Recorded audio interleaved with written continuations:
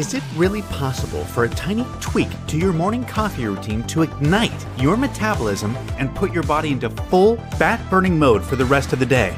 Check out the link in the video description now and transform your morning coffee into a metabolism boosting super drink.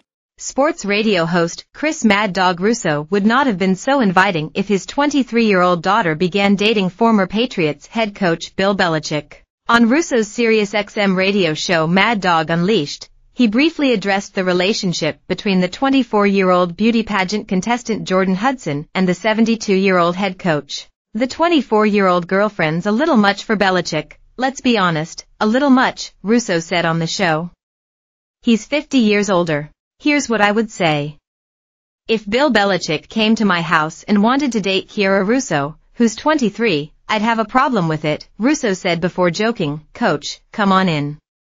Have a good time, you too. When someone on his staff noted that he could leverage that hypothetical relationship into getting the coach on his radio show, Russo joked, I would get him on the show, that's fair. DailyMail.com exclusively revealed images from a date night that Belichick and Hudson recently went on at a private members club on Nantucket on Wednesday night. That came just a few days after Belichick and Hudson were seen on board the coach's boat named Eight Rings earlier in the week. The couple met on a flight from Boston to Florida back in 2021 back when Belichick was still seeing his longtime girlfriend Linda Holliday.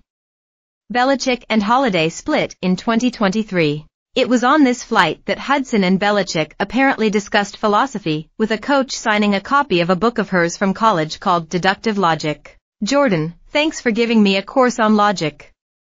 Safe travels, he wrote above his signature, while also writing down a list of the six Super Bowl titles he won in New England. While their love life has recently become front page news, it seems that some of Hudson's friends and pageant competitors were blindsided by the revelations. Speaking to the New York Post, one former competitor in the Miss Massachusetts Teen USA 2020 competition said, I didn't even know she had a boyfriend.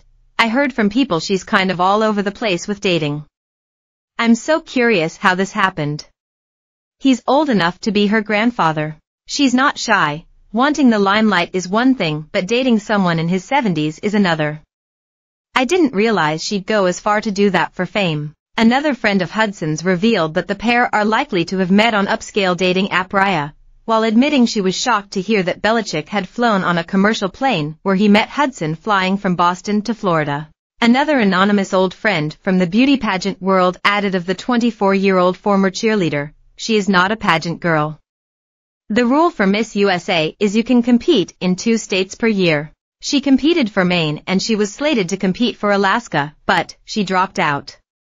I don't know if it has to do with this news coming out.